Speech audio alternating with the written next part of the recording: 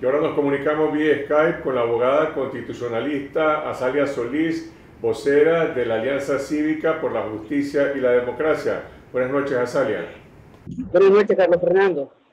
El comunicado de la Alianza Cívica dice que esta ley de amnistía promueve la impunidad. ¿El gobierno presentó esa propuesta alguna vez en la mesa de negociaciones? No, no hubo ninguna presentación sobre propuesta de ley de amnistía. El planteamiento de la alianza siempre fue verdad, justicia, reparación y no repetición. El tema, eh, el, uno de los temas de agenda, que era el, de la justicia, y entre ellos el tema fundamental de crear un mecanismo de justicia transicional en el país y, no contemplaba para de, de ninguna manera una amnistía de esta naturaleza porque es fundamental saber la verdad de lo que pasó aquí, es el derecho que tienen las víctimas de saber la verdad y de obtener justicia. ¿Cuál es la interpretación que hace la Alianza Cívica sobre las consecuencias de esta amnistía en relación a los presos políticos? ¿Serán liberados todos? ¿El gobierno, de acuerdo al articulado de esta ley, pretende preservar a algunos presos como rehenes, eh, es una libertad total, es una libertad condicionada, pueden volver a capturarlo. De acuerdo a lo que ellos eh, este, redactaron allí, lo que aparece es una amnistía condicional y lo que queda claro es que continúan planteando el tema del golpe de Estado, está en, en los en lo considerando de, de, esa, de esa ley y también eh, que pretenden mantener a los presos políticos como rehenes cuando dicen que lo que los llevó a, a, los procesos o al, a las detenciones eh, están impedidos de realizarlo. Sabemos que la mayor parte de ellos pues eh, cantaron el himno nacional, llevaron una bandera, hicieron algún tipo de protesta, es decir, hicieron ejercicio legítimo de sus derechos fundamentales y eso es lo que los llevó al, al encarcelamiento. Entonces, si ellos están, eh, están amenazando que esas causas que lo llevaron al encarcelamiento no, la, no pueden repetirse, o sea, haciendo un mal uso del concepto de repetición, pues francamente que eso es una amenaza hacia el ejercicio legítimo de los presos políticos. El gobierno ha separado esta propuesta de excarcelación de presos de la suspensión del estado de sitio de facto y de la restitución de todas las libertades democráticas. Eh, ¿Por qué se da esta separación cuando el acuerdo que habían convenido eh, combinaba las dos cosas?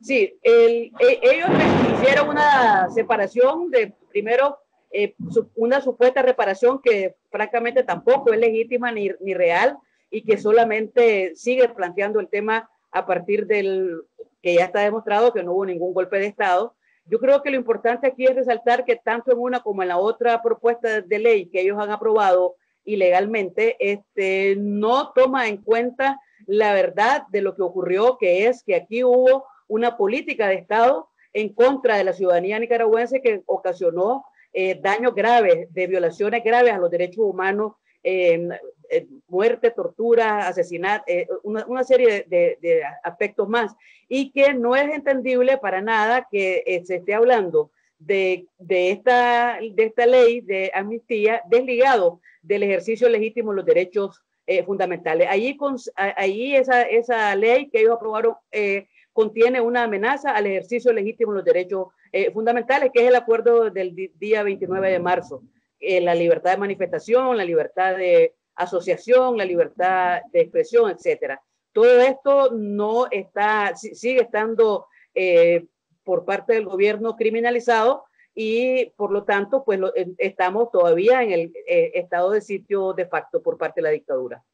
Pasalia, pero ¿cuál es la posición de la alianza sobre las consecuencias de esta ley en el momento en que se publique en la Gaceta, entre en vigencia? Eh, los, los presos van, a, van a, regresar a sus hogares, estarán plenamente en libertad o no, pueden salir a marchar, a ejercer su derecho a la libre movilización. ¿Qué, qué consideración tiene la alianza sobre esto? Bueno, la alianza hoy decía que estamos frente a una ley de impunidad, estamos en una ley que violenta los derechos humanos, porque eh, está en contra de lo que dice la Convención Americana de Derechos Humanos y está en contra de unas seis o siete sentencias que la Corte Interamericana ya ha emitido en distintos momentos, incluso eh, eh, con leyes de amnistía frente a hechos armados. O sea, recordemos que en Chile, en Argentina, en Uruguay, se dictaron algunas leyes este, similares a esta y que en eso estaban de por medio acciones armadas y sin embargo la Corte consideró que eran impropias. Mucho más impropio es frente a una situación como la de Nicaragua, en la que lo que hubo fue una insurrección cívica y sigue habiendo un este, planteamiento de lucha pacífica. O sea, este, esta ley violenta el marco jurídico nicaragüense y violenta el marco jurídico del sistema interamericano, como ya muy bien lo ha dicho eh, eh, en, en, estas últimas 24 horas la Comisión Interamericana de Derechos Humanos. Es decir, es, una ley sin legitimidad y es una ley este, que violenta derechos fundamentales, revictimiza a las víctimas. En efecto, la es una, ley que, es una ley que evidentemente habrá que derogar, que si aquí tuviésemos un sistema eh, de justicia independiente, debería declarar inconstitucional, pero que en todo caso, eh, con seguridad, el sistema interamericano la va a anular. En efecto, la Comisión Interamericana de Derechos Humanos ha advertido que los crímenes que se han perpetrado en Nicaragua no prescriben. Lo mismo ha dicho eh, Michelle Bachelet, la, relator, la alta relatora de Derechos Humanos de Naciones Unidas. Sin embargo, hay otras opiniones. El ex eurodiputado Ramón Jauregui, que presidió la misión de los eurodiputados a Nicaragua, ha celebrado esta amnistía y prácticamente está exhortando a la Alianza Cívica a regresar a la mesa de negociaciones como resultado de esto. ¿Qué posición tienen ustedes sobre las negociaciones? Eh, es, eso todavía el tema de las negociaciones no se ha planteado. Eh, se mantiene siempre que es necesario que aquí haya justicia y que haya democracia y que eso implica elecciones adelantadas. Yo creo que en relación al, a la expresión que hizo el eurodiputado, creo que hay un poco de desinformación de él. Seguramente solo está pensando en que esto permite la liberación de los presos políticos, que es algo que todos queremos, que todos los presos políticos estén en su casa y no estén ahí en, eh, sufriendo eh, los horrores que han estado, sufriendo por meses.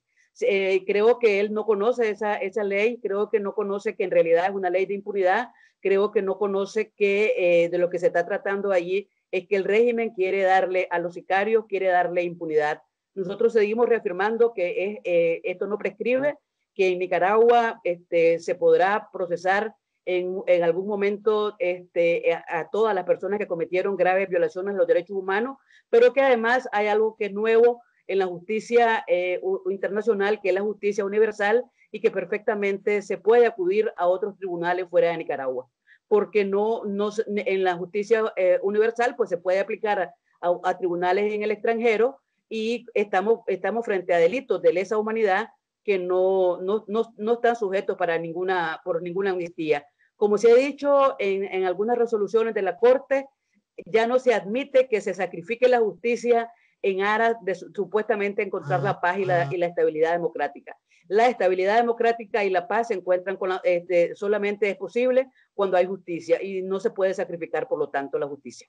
En la justificación que presentaron este sábado los diputados eh, oficialistas hicieron alusión a un supuesto aval de la Comisión Internacional de la Cruz Roja.